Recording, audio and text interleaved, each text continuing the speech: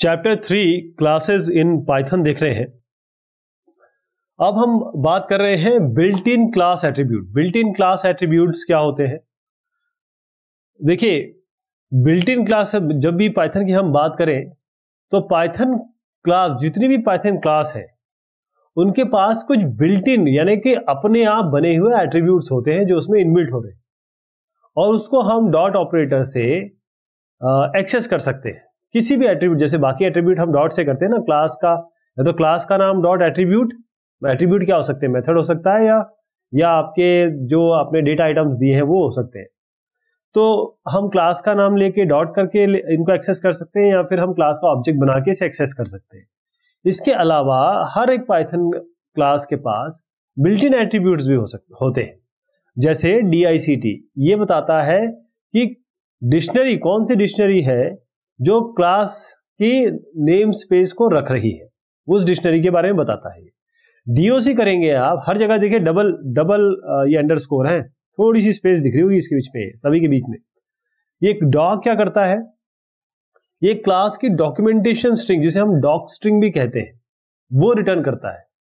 अगर by chance आपने class के लिए कोई डॉक स्ट्रिंग नहीं बना के रखी है तो ये नन रिटर्न करेगा, कुछ भी नहीं नन ऐसे ही अगर आप ये नेम अगर इस तरीके से नेम को जानना चाहेंगे तो आपको क्लास का नेम बताएगा ये। मॉड्यूल अगर आप इस तरीके से करेंगे ये मॉड्यूल तो ये क्या बताएगा? ये मॉड्यूल नेम बताएगा जिसमें क्लास डिफाइंड है in which the class is defined ये जो एट्रीब्यूट इसको हम इसी को मेन कहते हैं इंटरैक्टिव मोड में। बेसिस बेटे बेसिस क्या करता है? जितनी भी empty tuple possibly empty tuple है, खाली ट्यूपल जो बेस क्लासेस में है, और जिस तरीके से वो आई है ऑकर हुई है प्रोड्यूस हुई है बेस क्लास लिस्ट में, इसके बारे में हम जानेंगे इनहेरिटेंस में और अच्छे से समझ में आएगा आपको ये क्या है। बेसिस का मतलब होता है बेस क्लास के बारे में कोई जानकारी मिल रही है। अब ये फ़िलहाल ये समझ लीजिए आप। तो जो जो भी हमने पहले चीज़ें देखी हैं, चलिए कोशिश करते हैं कि ये जो बिल्ट इन एट्रीब्यूट्स है, उनको जानने की कोशिश करें। हम एक क्लास टेस्ट बना रहे हैं, ये जो है ना, ये डॉक स्ट्रिंग है बेसिकली तो हमने क्या किया कि क्लास एक टेस्ट बनाई, उसमें हमने लिखा, ये एक सैंपल क्लास है जो बिल्ट इन एट्रीब्यूट को दिखाएगा, ये आपका कमेंट भी मान सकते हैं आप इसको। रोल नंबर आपने एक दिया मार्क्स आपने पचहत्तर दिया। अब आपने एक डी एफ़ e किया ये बेसिकली कंस्ट्रक्टर बनाया आपने सेल्फ यहाँ किया comma roll number comma marks जो भी इसमें जब इनिशियलाइजेशन होगा, जब आप ऑब्जेक्ट बनाएँगे तो रोल नंबर इसके पास चला जाएगा और मार्क्स इसके पास चला जाएगा। ठीक है? फिर डिस्प्ले करेंगे डिस्प्ले में कुछ भी नहीं दिया सेल्फ अपने आप आता है। सेल्फ दे दिया यहाँ पर। सेल्फ जैसे ही रोल नंबर प्रिंट करेंगे सेल्फ डॉट रोल नंबर तो रोल नंबर प्रिंट होगा मार्क्स के आगे मार्क्स प्रिंट हो जाएगा। यहाँ तक ठीक हो गया। अब हम क्या करेंगे? प्रिंट करेंगे टेस्ट डॉट डॉक मतलब टेस्ट डॉट डॉक कर रहे हैं। Test dot name test dot module test dot bases test dot डीआईसीटी I जब ये रिज़ल्ट आएगा तो टेस्ट डॉट डॉक के आगे आएगा कि आपने जो डॉक स्ट्रिंग देखे रखी है, ये डॉक स्ट्रिंग आएगी आपकी, ये ना डॉक स्ट्रिंग हो जाएगी, ठीक है? इसके बाद आपका जो सेकंड होगा उसमें जो टेस्ट डॉट नेम नाम क्या है? तो टेस्ट क्योंकि नाम है? बेसिकली ये क्या है? टेस्ट ही तो नाम है क्लास का तो क्लास का नाम दे देगा ये। ऐसे आप मॉड्यूल बताएँगे तो ये मेन मॉड्यूल में है, ऐसी बेसिस बताएँगे तो इसमें कुछ खाल, अभी खल खाली है, कोई ये बेस क्लास नहीं है तो ये कुछ बताएगा नहीं। ऐसे डीआईसीटी बनाएँगे तो डिक्शनरी ये सारी बता देगा, जैसे मैंने आपको बताया था। मॉड्यूल, मेन, डिस्प्ले, और कोई फ़ंक्शन होगा डिस्प्ले, किस जगह पे एड्रेस क्या है उसका, ये हेक्साडेसिमल में एड्रेस बताया है। ये सारा की वैल्यू पेयर में चला आ रहा है। ऐसे ही आपका मॉड्यूल मेन है, डिस्प्ले फ़ंक्शन ये है, और रोल नंबर वन है, मार्क्स ये है। तो की वैल्यू पेयर में है ये। इसी तरीके से आपका आगे डॉक है, ये सैंपल्स, जो भी डॉक, डॉक्यूमेंट डॉक्यूमेंट स्ट्रिंग है इसमें, इनिट जो फ़ंक्शन है वो किस जगह है? ये आपका हेक्साडेसिमल एड्रेस दे दिया इन्होंने। उसके बाद हम देखते हैं डीएल e ये डीएल e क्या क्या काम करता है? नाम इसका जैसे डीएल है, ये। अब, आपने जब इनिट से बनाया, यानी कंस्ट्रक्टर बनाया, आपकी क्लास बनाई ऑब्जेक्ट भी बना दिए, अब अब अब वो ऑब्जेक्ट या इंस्टेंस डिस्ट्रॉय होने वाला है। डिस्ट्रॉय हो रहा है। इसको हम डिस्ट्रक्टर कहते हैं। इसको डिस्ट्रक्टर कहते हैं।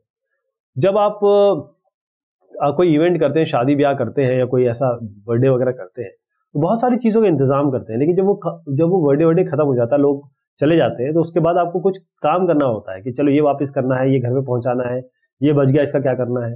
वो सारा काम डिस्ट्रक्टर का काम होता है।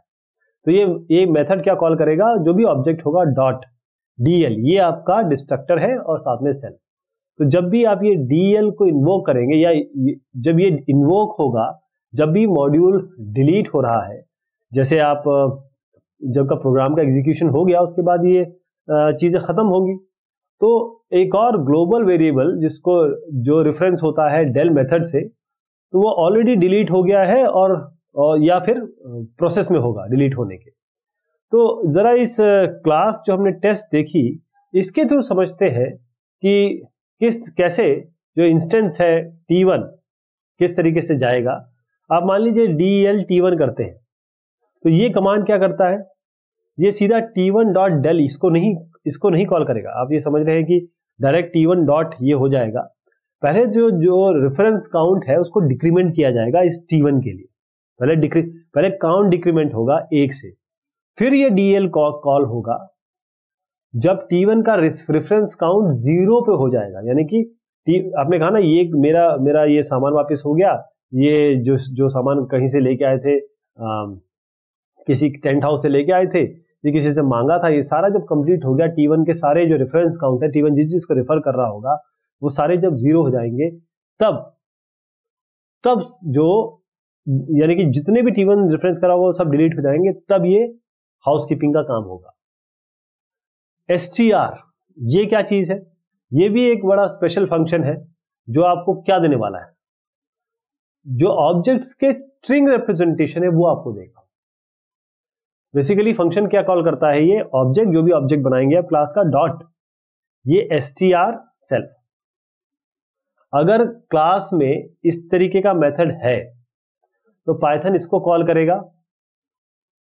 जब भी आप एस टी आर कॉल करेंगे या आपको प्रिंट स्टेटमेंट अगर कॉल करते हैं तो ये S T R built in function है। अगर ये प्रिंट स्टेटमेंट के साथ आप दे रहे हैं तो ये इनफॉर्मल स्ट्रिंग रिप्रेजेंटेशन ऑब्जेक्ट का कंप्यूट करेगा। अभी आप इसको समझिए कि अगर हम क्लास टेस्ट के तहत ही इसको देते हैं तो कैसे होगा। जैसे हमने कहा कि एक क्लास हम दे रहे हैं टेस्ट यहाँ आप कुछ भी लिखें मतलब वेरिएबल वगैरह डेटा आइटम वगैरह लिख लें, उसके बाद आपने कहा D F S T R self तो यहाँ पर आपने इस में रिटर्न करा दिया हेलो हाउ आर यू तो अब जैसे ही आप एक इस क्लास का ऑब्जेक्ट बनाएँगे टी और प्रिंट टी करेंगे तो ये आपको ये प्रिंट करके दे देगा। ये ये वाली चीज़ जो स्ट्रिंग तो जैसे ही आप प्रिंट टी कर रहे हैं, क्या होगा? पाइथन क्या करने वाला है? वो एस टी आर टी को कॉल करेगा, ताकि टी का स्ट्रिंग रिप्रेजेंटेशन जाना जाए। और स्ट्रिंग रिप्रेजेंटेशन किसमें दिया हुआ है? एस टी आर में। अगर एस टी आर मेथड है तो वो सीधा टी डॉट एस ये अंडरस्कोर अंडरस्कोर ऐसे बताता हूँ T dot underscore underscore S T R को कॉल कर लेगा। तो जो भी स्ट्रिंग इसको मिलेगी, उसको वो प्रिंट करेगा जो एस टी आर के अंदर होगी। प्राइवेट मेंबर्स प्राइवेट मेंबर का मतलब क्या है? हमने देखा डेटा हेडिंग देखी थी। उसमें हमने डिस्कस किया था कि पब्लिक भी होते हैं प्राइवेट भी मेंबर होते हैं। तो ये लिमिटेड सपोर्ट के लिए होते हैं। अगर क्लास की बात करें तो क्लास के अंदर फ़ंक्शन होते हैं जो जो डेटा मेंबर को एक्सेस करते हैं। क्लास के बाहर भी ऐसा हो सकता है कि आपको क्लास के अंदर की चीज़ है किसी और क्लास से या किसी और बाहर से क्लास के अंदर की चीज़ चाहिए होती है। तो अगर बाहर से चीज़ एक्सेस ना हो पा रही हो तो उसे हम कहते हैं वो अंदर प्राइवेट है, उनको हम एक्सेस नहीं कर सकते। चाहे वो डेटा हो, चाहे मेथड हो, वो केवल उस ऑब्जेक्ट के अंदर से ही कॉल हो सकते हैं, एक्सेस किए जा सकते हैं। अगर आप चाहते हैं कि कोई एट्रीब्यूट आप हाइड करके रखें इसको आप कैसे इंप्लीमेंट करेंगे? अगर आप हाइड करना चाहते हैं किसी मेंबर को तो कोई ऐसी चीज़ अपने पास अवेलेबल है नहीं। तो उसके लिए पाइथन क्या देता है आपको? उसका नाम होता है नेम मैंगलिंग नेम मैंगलिंग का मतलब क्या है?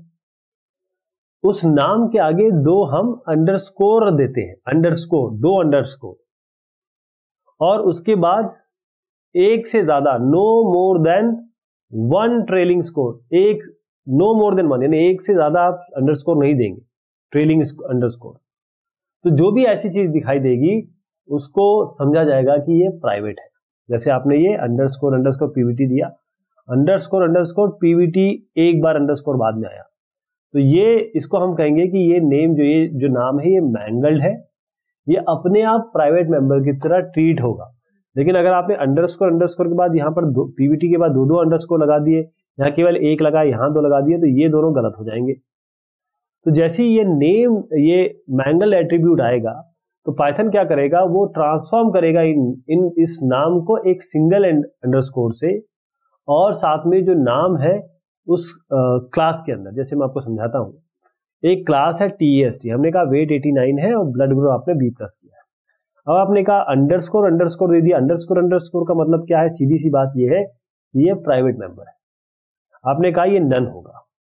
तो जैसे ही आप, अगर आप इसकी डायरेक्टरी देखना चाहते हैं तो आप देखेंगे कि जो ये बीपी ये जो बीपी है, अगर आपने यहाँ प्रिफिक्स किया है दो अंडरस्कोर से तो अगर इसकी डायरेक्टरी प्रिंट कराना चाहते हैं कि क्योंकि हर चीज़ डायरेक्टरी स्ट्रक्चर में बनती है तो आप देखेंगे डॉक इनिट और ये मॉड्यूल तो आपका आएगा ही आएगा वेट आएगा ये ब्लड ग्रुप आएगा। साथ में आप देख रहे हैं ये टेस्ट के साथ, इस क्लास का, देखिए underscore test underscore underscore BP ये आपको बताएगा कि हाँ ये भी है, जो कि आपका मेंबर कौन सा है वेट और ब्लड ग्रुप तो ये आपके पब्लिक मेंबर हो गए। ये प्राइवेट मेंबर यहाँ दिखा रहा है आपको। डेटा हाइडिंग डेटा हाइडिंग अगर आपको इनकैप्सुलेशन या कैप्सूल के अंदर चीज़ें रखनी है और बाहर से उसको अलग दिखाना है तो आपको डेटा हेडिंग करनी पड़ेगी। और उसका जो इनकैप्सुलेशन करने का तरीका है वो डेटा हेडिंग से के ज़रिए ही जाता है। तो पाइथन इस तरीके से इन, मतलब बहुत फोर्सफुली इन्फोर्स नहीं कर रही है डेटा हेडिंग को। इस ट्रू सेंसेस में नहीं है। जो पाइथन का जो अप्रोच है कि इनकैप्सुलेशन हो इज़ बहुत बहुत सीधा है। प्राइवेट डेटा मेंबर मत यूज़ करो। कोई प्राइवेट तो इसमें चीज़ होती नहीं है। जैसे मैंने आपको बताया कि पाइथन में कुछ प्राइवेट होता नहीं है। लेकिन अगर आपने किसी चीज़ को डबल लीडिंग अंडरस्कोर से कर दिया ऐसे ऐसे करके कोई यहाँ पर आपने कोई नाम लिख दिया तो आपने कह दिया कि देखिए, ये जो चीज़ है ना, ये केवल क्लास के अंदर ही यूज़ होगी। पाइथन एक बहुत डायनेमिक लैंग्वेज है। तो आप एट्रीब्यूट और मेथड डायनेमिकली भी यूज़ कर सकते हैं। ये इंपॉर्टेंट बात है। पहले वाली सी सी सी प्लस प्लस और जावा वगैरह में, आप जब एट्रीब्यूट और एट्रीब्यूट ऐड करते थे तो क्लास के अंदर होती थी। डायनेमिकली ऐड करना बड़ा मुश्किल था। यहाँ पर आप डायनेमिकली ऐड कर सकते हैं। तो अभी ये जो एग्ज़ाम्पल मैं आपको बताना जा रहा हूँ, ये वाला हेल्थ प्रोफ़ाइल इस, इसमें देखिएगा ये पल्स है। इस पल्स को हम डायनेमिकली ऐड कर रहे हैं हेल्थ प्रोफ़ाइल में। इस H1 के थ्रू समझिएगा इसको। हमने क्या किया? क्लास हेल्थ प्रोफ़ाइल किया पास इसका मतलब ये हेल्थ प्रोफ़ाइल क्लास खाली छोड़ी पास का मतलब कुछ भी नहीं दे रहे। लेकिन आपने कहा हेल्थ प्रोफ़ाइल यहाँ पर आपने एक ऑब्जेक्ट बनाया एच वन और एच वन डॉट पल्स करके सेवेंटी फाइव दिया। पल्स तो इसके अंदर है ही नहीं। लेकिन फिर भी आप फिर भी आपने H one dot pulse create कर दिया। इसका मतलब यह है कि इनकैप्सुलेशन जब भी आ, की बात करें पाइथन में तो आप इंप्लीमेंटेशन डिटेल के बारे में बिल्कुल चिंता ना करें। ये भी मैटर नहीं करता है कि जो एट्रीब्यूट है उसका पब्लिक एक्सेस है या प्राइवेट एक्सेस है। अगर आपने बस लीडिंग अंडरस्कोर डाल दिया, इसका मतलब वो प्राइवेट हो गया। अगर आप डायरेक्टली इसको कहीं से कॉल करने बैठे तो वो कॉल नहीं होगा। क्योंकि वो अंदर नेम मैंगलिंग दो अंडरस्कोर के द्वारा आपने रखा है उसको। ओके तो अगर आप एक्सेस करेंगे जो हिडन एट्रीब्यूट है, इस इस तरीके के तो आपको एरर दिखाना दिखाएगा ये पाइथन एक एग्जांपल देखिए हेल्थ प्रोफ़ाइल का। इसमें हमने वेट दिया ब्लड ग्रुप दिया और इसको बना दिया प्राइवेट मेंबर आपने यूनिट में कहा सेल्फ डॉट ये वाले के बारे में हिडन एट्रीब्यूट यहाँ पर आपने हिडन एट्रीब्यूट दे दिया डिस्प्ले कराना चाहा बीपी और डीपी डिस्प्ले बीपी कराना चाहता self print dot print self dot underscore underscore BP तो आप जब हेल्थ प्रोफ़ाइल बना, बनाएँगे एक, मतलब एक आपने यहाँ पर क्या किया एक ऑब्जेक्ट बना दिया। एडजेक्ट से आपने डॉट बीपी कॉल करने की कोशिश की। अब जरा इसको अगर इसको करेंगे जरा ट्रेस बैक अगर करेंगे, जो भी कितने जितने कॉल किए गए तो फॉल ये file input line one in module GT attribute error example instance has no attribute underscore underscore BP right अब देखिए क्योंकि एच डॉट डिस्प्ले बीपी ये एक हिडन एट्रीब्यूट है। एच डॉट बीपी आपने क्या किया कि एक ऑब्जेक्ट बनाया? उस ऑब्जेक्ट से आप ये अंडरस्कोर अंडरस्कोर बीपी एक्सेस करने की कोशिश कर रहे हैं। बाहर। बाहर करने की कोशिश कर रहे हैं। तो यहाँ पर ये क्या बोल रहा है? हिडन एट्रीब्यूट इसका मतलब क्या हुआ? अब आप, इसका मतलब समझे कि ये हुआ क्या इसमें? हमने कहा कि हमने एक ऑब्जेक्ट बनाया। ऑब्जेक्ट से हमने डायरेक्ट इसको कॉल करने की कोशिश कर ली। लेकिन आप बोलेंगे कि इस, ये तो कॉल हो सकता है प्राइवेट मेंबर तो अगर आपने यहाँ इस, इसको एक्सेस करने की कोशिश की है तो क्यों नहीं हो रहा है एक्सेस आप देखिए इस मेंबर को आप कभी भी डायरेक्टली एक्सेस नहीं कर सकते। इसके थ्रू आपको फ़ंक्शन में जाना पड़ेगा। फ़ंक्शन इसे एक्सेस कर सकता है। फ़ंक्शन केवल इस प्राइवेट मेंबर को एक्सेस कर, करता है इसलिए आपको एरर आ जाएगी। तो क्या तरीका होगा? किस तरीके से बीपी को हम कॉल करें? उसका भी तरीका है। आपने इस क्लास में देखा कि जब भी आप अंडरस्कोर बीपी क्योंकि ये प्राइवेट दिया है इसलिए एरर मैसेज आ गया। जब भी इसको हम क्लास के बाहर एक्सेस करने की कोशिश करेंगे क्लास के अंदर तो ये प्रिंट डिस्प्ले वाला फ़ंक्शन उसे एक्सेस कर ही रहा है। अगर आप इम्पोर्ट भी करना चाहें फ्रॉम जो भी मॉड्यूल से सारे इम्पोर्ट करना की कोशिश करेंगे तो जो डबल लीडिंग अंडरस्कोर है वो तब भी इम्पोर्ट नहीं होंगे। लेकिन तरीका क्या है प्राइवेट मेंबर को एक्सेस करने का? उसका तरीका यह है कि एक ऑब्जेक्ट बनाइए आप हेल्थ प्रोफ़ाइल ऑब्जेक्ट बनाइए। अब H two dot health profile इसका नाम लिखिए और अंडरस्कोर अंडरस्कोर बीपी कर दीजिए, अब इसको एक्सेस कर सकते हैं। तो आपको ज़रूर सोच रहे होंगे कि तो ये तो प्राइवेट था, इसको कैसे एक्सेस कर लिया? तो क्या ये प्राइवेट मेंबर्स एक्चुअली हिडन है? इसका मैं उत्तर देना चाहूँगा, नहीं साहब, ये एक्चुअली हिडन नहीं तरीका थोड़ा, जैसे आप सीधी तरह काम करते हैं, थोड़ा सा तेरा थोड़ा सा वे आउट जाके काम कर रहे हैं, लेकिन आप एक्सेस कर सकते हैं, जो ये तरीका बताया। स्टैटिक मेथड्स क्या होते हैं? स्टैटिक मेथड बहुत इंपॉर्टेंट होते हैं, जहाँ तक कि बाकी लैंग्वेजेस का सवाल उसमें स्टैटिक बहुत इंपॉर्टेंट है इंटरव्यू वगैरह में पूछा जाता है, और उसका यूज़ भी बहुत होता है। स्टैटिक मेथड या फ़ंक्शन किसी भी पाइथन क्लास में वो मेथड होते हैं जो यूजुअल कन्वेंशन नहीं लेंगे। मतलब जिस तरीके से हम कॉल कॉल करते हैं। तो जिस तरीके से हम कहते हैं ना, जो सेल्फ होता है, वो पहला आर्ग्यूमेंट होता है। ये किसी भी तरीके के function just like any other function लेकिन ये कॉल कर सकते हैं आप बगैर ऑब्जेक्ट बनाए हुए। सबसे इंपॉर्टेंट बात समझ लीजिए कि ये स्टैटिक मेथड ऐसे होते हैं जिनके लिए आप ऑब्जेक्ट बना के कॉल करने की आवश्यकता नहीं है, इसीलिए इनको हम स्टैटिक कह रहे हैं। ये स्टैटिक है क्योंकि ये क्लास को बिलोंग करते हैं, ये किसी ऑब्जेक्ट के लिए ऑब्जेक्ट को बिलोंग नहीं कर रहे। They don't use the object self at all क्योंकि सेल्फ का मतलब क्या होता है कि अगर हमने सौ सौ ऑब्जेक्ट बना दिए तो हमको पचासवा ढूंढना है, सतवा सत्तरवे पे काम कर रहे हैं तो सेल्फ का मतलब है कि मैं सेल्फ सत्तरवा दिखा देगा कि मैं सत्तरवे पे काम कर रहा हूँ। स्टैटिक मेथड का मतलब ये होता है, ये पूरे क्लास के लिए बना होता है तो सारे ऑब्जेक्ट इसको से डील कर रहे होते हैं। तो अगर आपको स्टैटिक मेथड डिक्लेयर करना है तो नॉर्मली इसको डिक्लेयर करना है, लेकिन थोड़ा उसके पहले आपको केवल स्टैटिक से दिखा देना है इसको। यानी आप इसके आगे लिखेंगे at the rate static method क्या लिखेंगे? At the rate static method right तो आप बोलेंगे कि स्टैटिक मेथड फिर बनाते क्यों है? होता क्या है? कौन से ऐसे होने चाहिए जो स्टैटिक मेथड होंगे? जो भी सेल्फ वेरिएबल को रेफरेंस ना कर रहे हो या करना करना चाहते हो, जिसकी ज़रूरत ही नहीं है, वो सारे के सारे आपके स्टैटिक मेथड होते हैं। मैं एग्जांपल बताता हूँ आपको। हमने यहाँ क्लास लिखा टेस्ट यहाँ पर हमने कहा at the rate static method और हमने कहा यहाँ पर डीएफ ये फ़ंक्शन हमने बनाया डिस्प्ले टेस्ट और यहाँ लिख दिया this is a static method अब देखिए, हम इसका कोई भी ऑब्जेक्ट नहीं बनाएँगे। इस क्लास का नाम लिखेंगे और डॉट करके डिस्प्ले टेस्ट कॉल कर देंगे। बगैर ऑब्जेक्ट बनाए, ये अपने आप आपको ये चीज़ दिखा देगा। अब इस एग्ज़ाम्पल में आप देख सक, देख पा रहे हैं कि जो डिस्प्ले टेस्ट है, इसमें कोई भी सेल्फ पहला आर्ग्यूमेंट नहीं है। किसी भी फ़ंक्शन में आप, मैंने जैसे कहा था कि सेल्फ अपने आप जुड़ जाता है। ये पहला आर्ग्यूमेंट होता ही होता है। इसमें इसका मतलब ये है कि डिस्प्ले टेस्ट में इसका कोई कोई ऐसा मतलब कोई ऑब्जेक्ट नहीं बनाया आपने जो इसको कॉल करेगा। तो आप जैसे ही ये at the rate static method देखेंगे, हम जान जाएँगे कि ये ऑब्जेक्ट पे डिपेंडेंट नहीं है ऑब्जेक्ट के स्टेट्स पे डिपेंडेंट नहीं है। जब भी आपने डिक्लेयर कर दिया किसी मेथड को स्टैटिक तो आर्ग्यूमेंट जो भी आप पास कर रहे हैं तो वो बिल्कुल वही आर्ग्यूमेंट रिसीव करता है जैसे आपने भेजे जो भी स्टैटिक uh, मेथड है वो आपको क्या रिटर्न करेगा? आप रिटर्न की बात कर, कर सकते हैं। वो रिटर्न करेगा जो जो भी उसके अंदर आपने स्टेटमेंट दिए होंगे बगैर किसी चेंज के।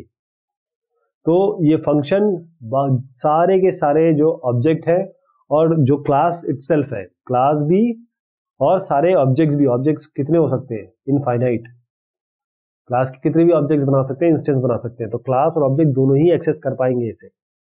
क्योंकि ये बिल्कुल सबके लिए एक जैसा बना हुआ है। जैसे आपने कहा क्लास टेस्ट बनाया और यहाँ पर at the rate static method दिया। आपने कहा डी एफ़ स्क्वायर एक्स तो टेस्ट डॉट रिज़ल्ट में आपने एक्स स्क्वायर कर दिया। राइट तो एक्स स्क्वायर क्या हो रहा है? एक्स जो भी डालेंगे उसका स्क्वायर डालेगा। तो आपने क्या किया? इसमें ऑब्जेक्ट नहीं बनाया अभी। सीधा इस टेस्ट से ही कॉल कर लिया, इस फ़ंक्शन को स्क्वायर फाइव अब जब टेस्ट डॉट रिज़ल्ट आप ढूँढने की कोशिश करेंगे तो आप देखेंगे 25 आएगा आपका। ऐसी जब आप टेस्ट इस तरीके से डॉट स्क्वायर कॉल करेंगे। इस जगह, देखिए। अब ये कॉल करेंगे। डॉट स्क्वायर सिक्स तब भी ये आपको 36 दिखाएगा।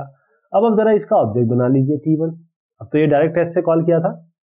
मतलब सीधा क्लास के नाम से कॉल किया था। अब हम जरा इसको ऑब्जेक्ट बना के कॉल करें। एक ऑब्जेक्ट बना लीजिए।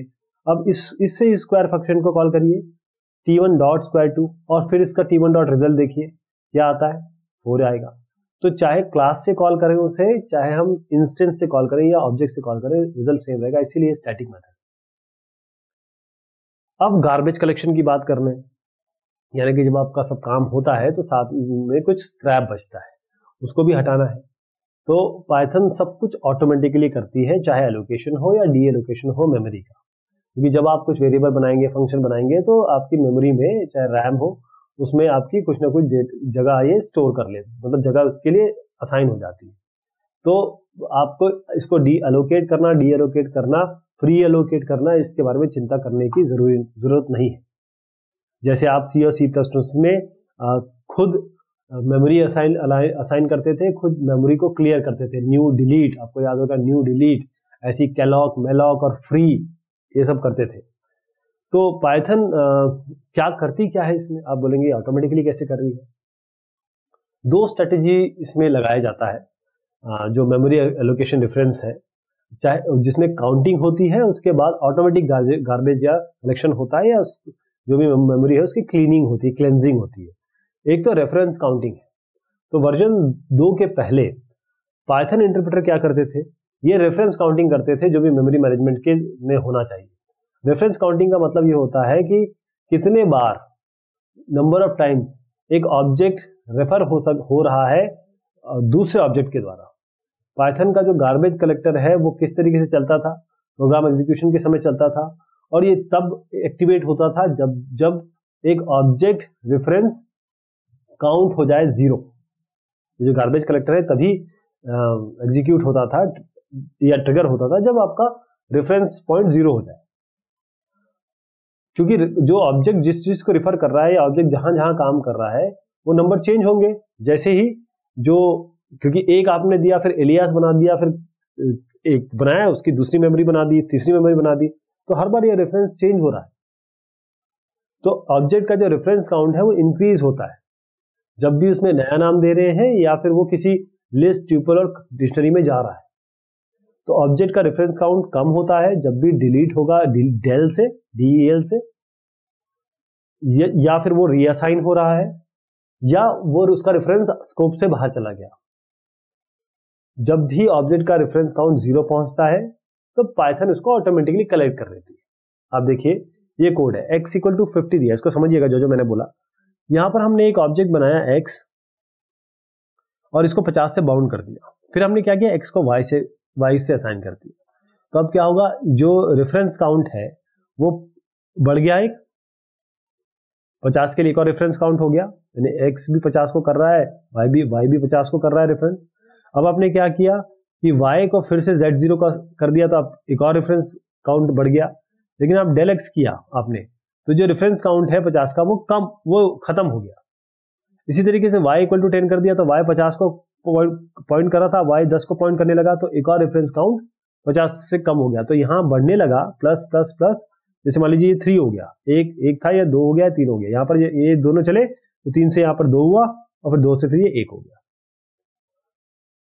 ये भी ध्यान रखिए कि आप, आप क्लास में ये डेल डेल मेथड जिसे डिस्ट्रक्टर कहते हैं इसको आप इम्प्लीमेंट कर सकते हैं। ये तब भी जब तब इन्वोक होगा जब इंस्टेंस आपका डिस्ट्रॉय हो रहा होगा। ये क्लीनअप के लिए क्लीनिंग के लिए जो मेमोरी रिसोर्सेज है, कोई भी ऑब्जेक्ट यूज़ कर रहा है, उसके लिए काम आता है। जो रेफरेंस काउंटिंग है, बहुत एफिशिएंट है, लेकिन थोड़ी सी इसमें कुछ चीज़ें थी।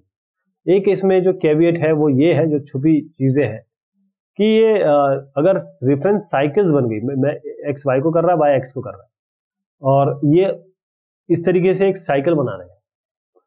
रेफरेंस साइकिल क्या होता है? इसका मतलब ये है कि there is no way to reach an object but its reference count is still greater than zero यानी कि वो एक्स भी नहीं है वाई भी नहीं है, लेकिन फिर भी इसका रेफरेंस काउंट ज़ीरो नहीं आ रहा है। अगर आप रेफरेंस साइकिल देखना चाहते हैं तो आप क्या करिए, एक ऑब्जेक्ट बनाइए, जो अपने आप को रिफर कर रहा है। देखिए, बहुत सिंपल एग्ज़ाम्पल है। आपने एक रेफरेंस साइकिल करके फ़ंक्शन बनाया, इसमें एक्स को खाली दिया। अब एक्स में आपने अपेंड कर दिया इसी एक्स को। खाली है ये खुद को अपेंड कर रहा है? ये रेफरेंस साइकिल हो गया। इसमें जो रेफरेंस साइकिल बन रहा है, ये वाला जो रेफरेंस साइकिल बन रहा है, वो ऑब्जेक्ट एक्स क्रिएट कर रहा है, जो अपने आप को ही रिफर कर रहा है। इससे ना, अपने आप को ही तो रिफर कर रहा है एक्स खुद को रिफर कर रहा है। तो एक्स एक्स अपने आप तो क्लियर होने वाला नहीं, अगर आप रिटर्न भी करते हैं तो। तो ये ऐसी मेमोरी बना देगा एक्स के लिए is using to be held on to until the Python garbage collector is इन्वोव this will cause the memory that X is using to be held on to until मतलब ये क्या, इसका मतलब ये हुआ कि एक्स के पास क्या है कि मेमोरी तो है। अब आप जब तक इन्वोक अपने आप नहीं करेंगे पाइथन गार्बेज कलेक्टर को पाइथन गार्बेज कलेक्टर नहीं समझ पाएगा। वो तो उसके पास तो रेफरेंस ज़ीरो है नहीं, ये तो सेल्फ रेफरेंसिंग हो रही है। अब सेकंड जो चीज़ आती है वह है ऑटोमेटिक गार्बेज कलेक्शन इसमें क्या होता है? ये एक बेसिकली इसको हम शेड्यूल्ड एक्टिविटी की तरह रखते हैं पाइथन में। पाइथन इसको शेड्यूल एक्टिविटी की तरह रखते हैं। और पाइथन किस तरीके से शेड्यूल करती है? उसका होता है कि एक थ्रेशोल्ड होता है कि ऑब्जेक्ट एलोकेशन कितना हो रहा है ऑब्जेक्ट डी एलोकेशन कितना हो रहा है। कितने ऑब्जेक्ट बन रहे हैं, कितने ऑब्जेक्ट जो फ्री हो रहे हैं। जो भी ऑब्जेक्ट ज़रूर मतलब ज़रूरत नहीं है उनकी पाइथन उन्हें डिलीट कर देता है। चाहे वो बिल्ट इन टाइप हो, चाहे वो क्लास क्लास इंस्टेंसेस हो। उसे हम कह रहे हैं गार्बेज कलेक्शन जब जो एलोकेशन किए और माइनस जो नंबर ऑफ़ डी एलोकेशन है, जब एलोकेशन माइनस डी एलोकेशन ये अगर उस थ्रेश से ज़्यादा हो गए तो अपने आप गार्बेज कलेक्टर चल जाएगा। और जितने भी ब्लॉक ऑफ़ मेमोरी है, जो अनयूज है, उसको फिर से रिक्लेम कर लिया जाएगा। कि ठीक है साहब, आप चला दीजिए, जितने भी अनयूज है, उसको हमें वापस दे दीजिए मतलब ओएस को वापस दे दीजिए। आप आराम से जो थ्रेशोल्ड है नए ऑब्जेक्ट का इंस्पेक्ट कर सकते हैं, जान सकते हैं। एक जीसी मॉड्यूल है। ये जीसी का मतलब ही है गार्बेज गार्बेज कलेक्टर और पूछ सकते हैं यहाँ पर जान के कि गार्बेज कलेक्शन का थ्रेशोल्ड क्या दिया हुआ है। ये ध्यान रखिएगा कि ऑटोमेटिक गार्बेज कलेक्शन नहीं चलेगा यदि Python device out of memory जा रही है। उस केस में नहीं चलेगा। तो इस इस केस में आपका एप्लीकेशन बार बार एरर थ्रो करेगा। उसको आपको खुद हैंडल करना पड़ेगा। या इस, यानी कि आपका एप्लीकेशन क्रैश होने की संभावना है। और जो ऑटोमेटिक गार्बेज कलेक्शन है, ये तब होगा जब एक से मतलब more occurs more for the number of free objects than size of objects ध्यान रखिएगा कि ऑटोमेटिक गार्बेज कलेक्टर ये ज़्यादा जितने भी फ्री ऑब्जेक्ट्स हैं, उनके लिए चलेगा। साइज़ के लिए नहीं। उसके हिसाब से चलता है कितने नंबर्स है। तो हमने देखा क्या इसमें? सबसे पहले नेम स्पेसेस की बात की।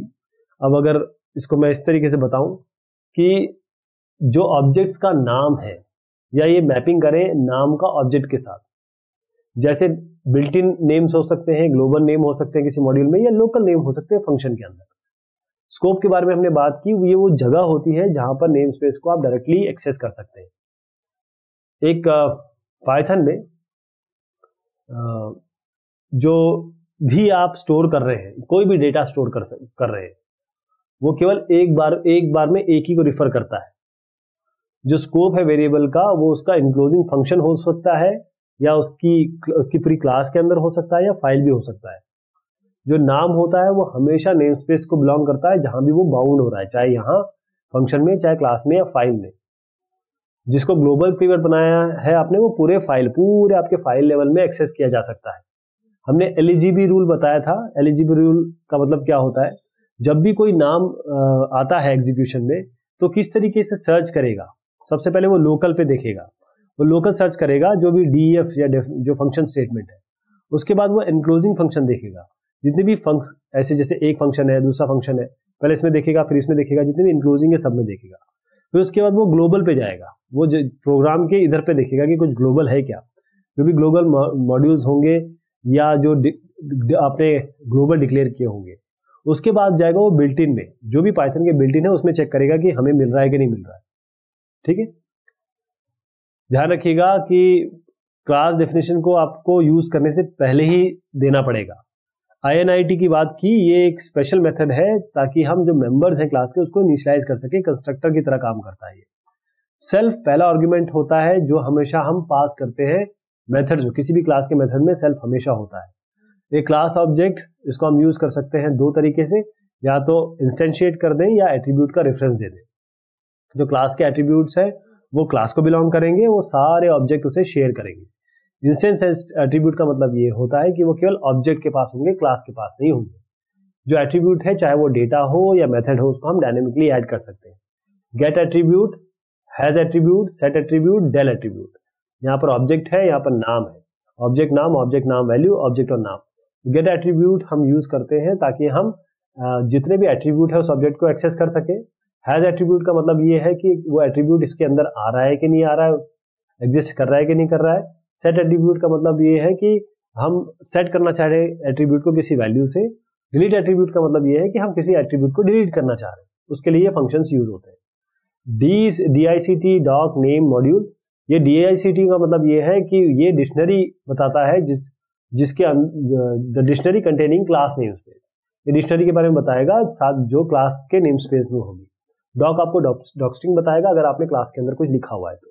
नेम आपको क्लास का नाम बताएगा मॉड्यूल बताएगा कि वो मॉड्यूल नेम जिसके अंदर क्लास को बनाया गया है। बेसिस आपको बताएगा कि वो एक ट्यूपल देता है, जिसमें जो बेस क्लास है हम आगे देखेंगे, क्योंकि जो बेस क्लास है, उसके बारे में बताएगा ये। कौन कौन सी बेस क्लास है? डीएल या हम, ये तब एग्जीक्यूट होगा, या इन्वोक होगा, जब मॉड्यूल को आप डिलीट करेंगे। एस क्या होता है? ये आपको जो ऑब्जेक्ट का स्ट्रिंग रिप्रेजेंटेशन दिखा देगा। प्राइवेट मेंबर्स केवल ऑब्जेक्ट के अंदर से एक्सेस हो सकते हैं। नेम मैंगलिंग का मतलब यह है कि आपने दो अंडरस्कोर लगा दिया और नाम लिख दिया या कोई भी नाम लिख दिया। उसके बाद कल एक एक अंडरस्कोर हो सकता है। वो नेम मैंगलिंग होगी। इसको एज अ प्राइवेट ट्रीट किया जाता है।